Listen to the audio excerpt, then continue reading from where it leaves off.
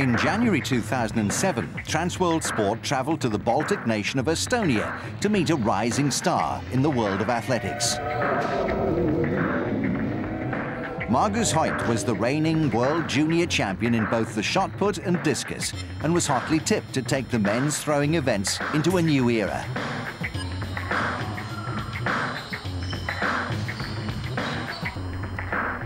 In the two and a half years since we filmed with him, a lot has changed.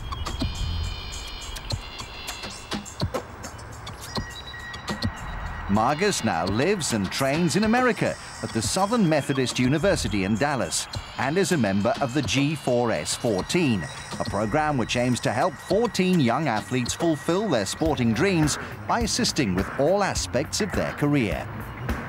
I came to visit in 2007 just for a training camp. I just was talking to Coach Wollman and I did some of my practice here and uh, I just fell in love with the campus and you know in, into USA in general and so I made my mind clear that I want to come here and uh, and here I am now.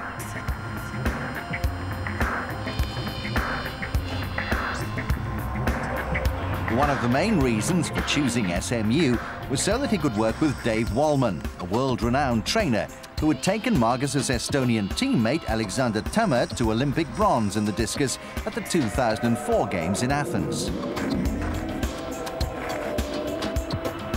Having worked with numerous world-class throwers, Coach Wollman is well placed to judge Margus's potential.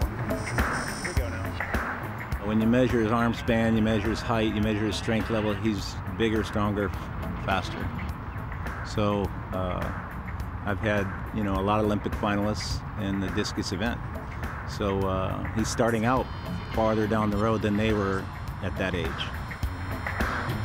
Margus moved to Dallas temporarily after graduating high school in Estonia in 2007. With the help of his sponsors, he funded the trip himself. But with things going so well, he wanted to make the move permanent. However, staying at SMU with Coach Wollman wasn't an option, as the college didn't have a men's track and field program. We were considering that going to the other university.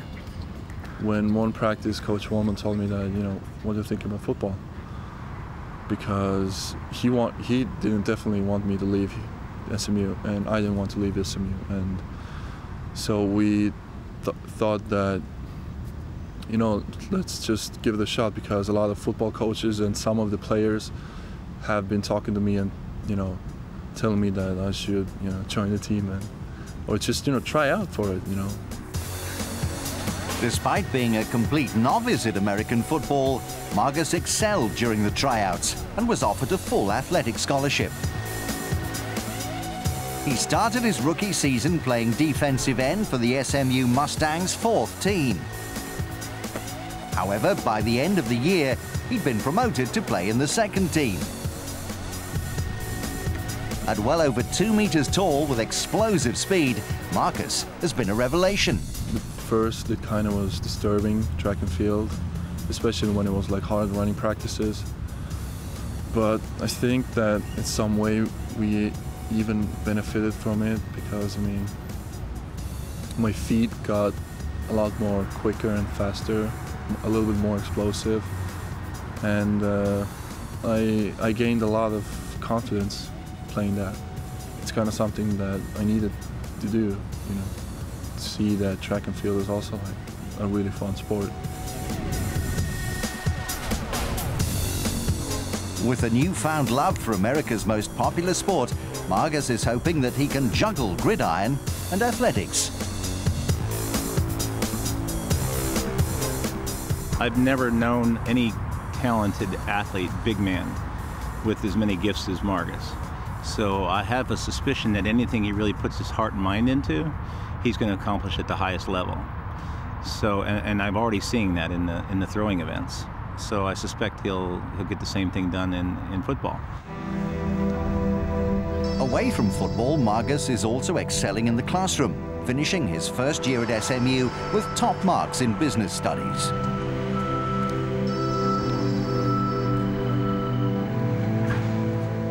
However, his development in athletics hasn't been as straightforward. Since competing as a senior, Margus has struggled to live with the huge expectations placed on him.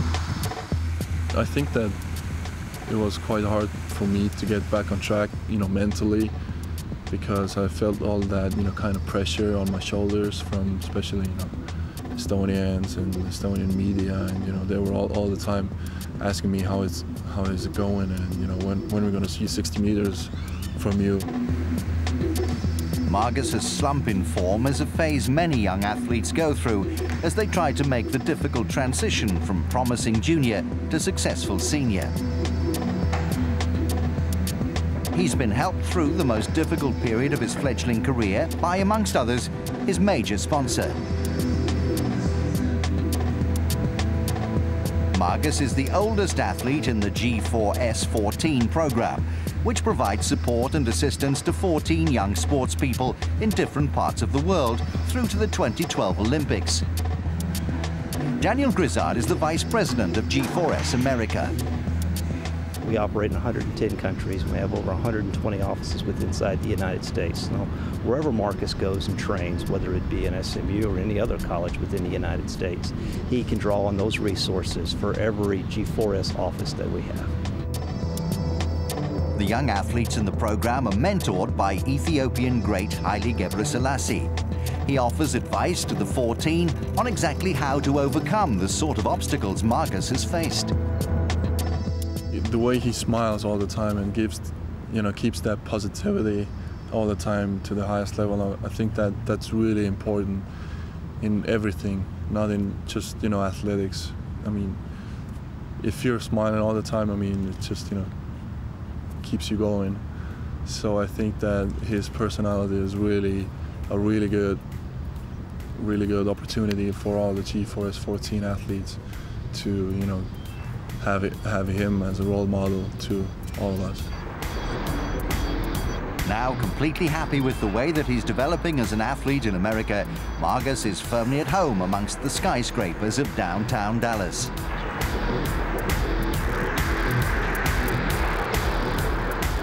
He'll be in Texas until the summer of 2012, when he's scheduled to graduate, before hopefully competing in his first Olympic Games. Margus wasn't selected to compete for Estonia at this year's Athletics World Championships in Berlin. However, the 22-year-old knows that discus in particular is a discipline that takes many years of practice before athletes reach their peak.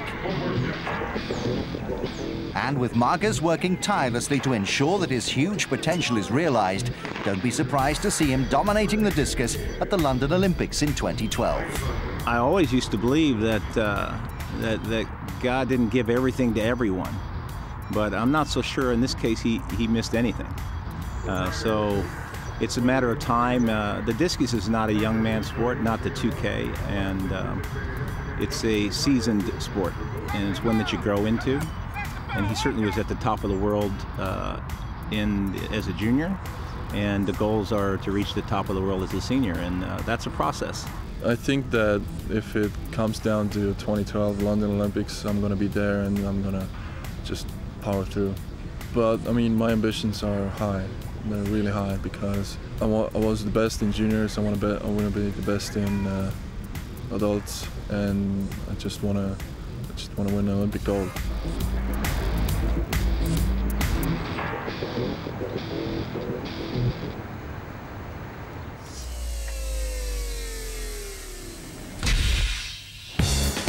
In the next edition of Transworld Sport, we're in New York to meet boxing's would-be rabbi, Yuri Foreman.